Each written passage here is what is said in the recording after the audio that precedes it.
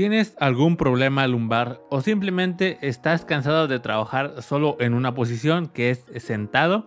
Pues bueno, aquí te traigo este escritorio en el cual puedes regular su altura y es de forma manual. Sí, están los que son con motor automático, que solo con aplazarle uno o dos botones puede subir o bajar eh, su altura. Sin embargo, este escritorio puedes hacerlo manualmente, claro, tiene sus ventajas y desventajas. Pero bueno, así que comencemos con el unboxing y eh, les voy a ir contando más acerca de este escritorio.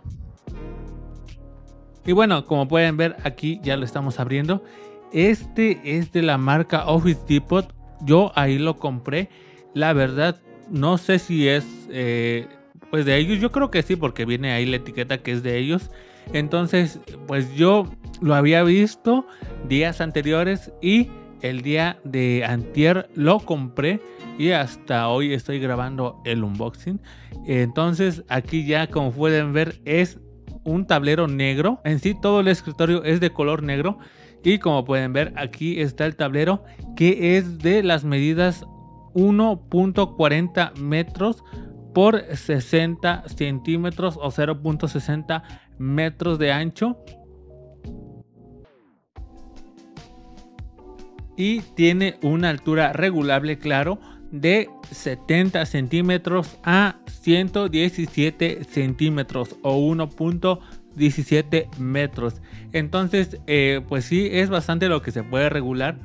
Y claro, esto pues tú lo puedes ajustar a tu altura. O sea, si tú mides, no sé, unos 60, si tú mides unos 80, pues eh, aquí vas a poder acoplarlo a la altura que lo necesites.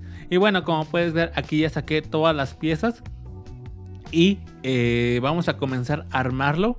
Entonces, ahorita les estoy mostrando, esta es la, ¿cómo se podría decir? Eh, bueno, con el que lo ajustas, ¿no? Aquí está la pata, bueno, una de las patas, y la verdad es un material bastante, bastante bueno, es aluminio, acero, no sé, pero es bastante, bastante bueno.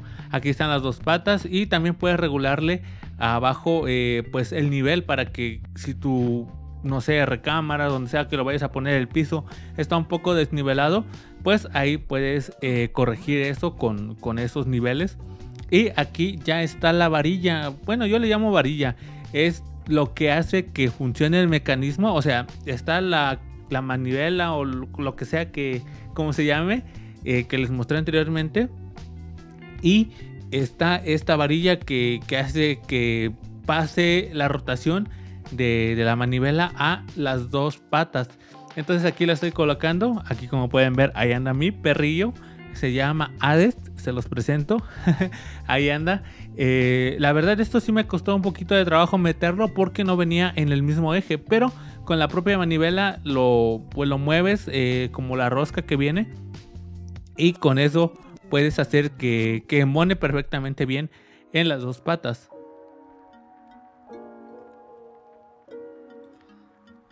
Y bueno, ya eh, como siguiente paso estamos poniendo esta pues soporte, este soporte que, ayuda a que las dos patas estén fijas, o sea, estén unidas.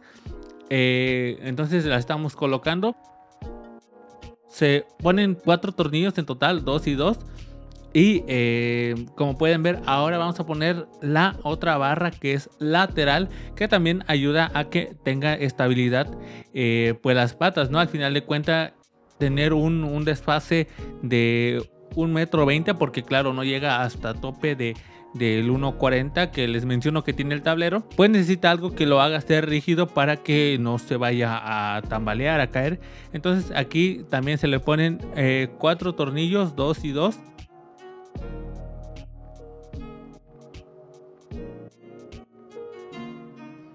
Y eh, aquí viene ya la, llave para, colocar estos eh, tornillos, por lo cual solamente necesitas un desarmador para el tablero, pero eso este, pues ya es, después.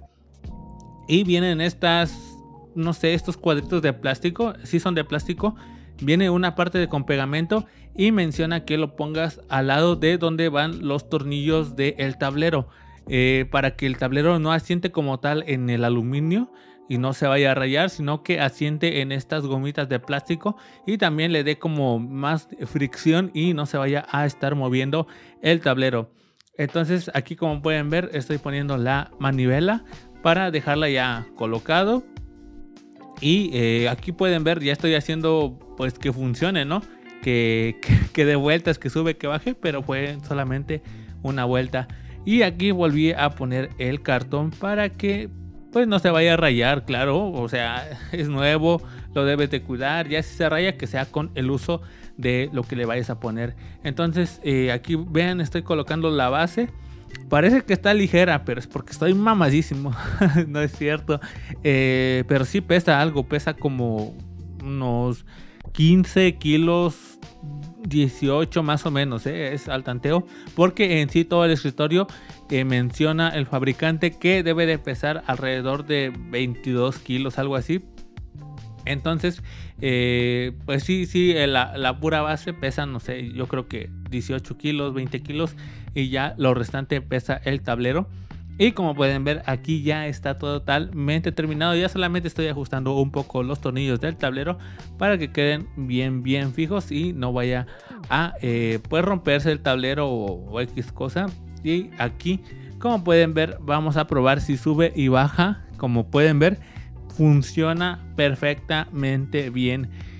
La verdad me encantó. Este tiene un precio. Yo le encontré en oferta de 3 mil pesos. Tenía un 25% de descuento porque su precio real era de 4 mil pesos.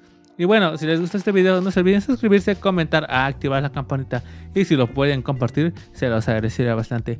Y nos estaremos viendo en un próximo video. Hasta la próxima.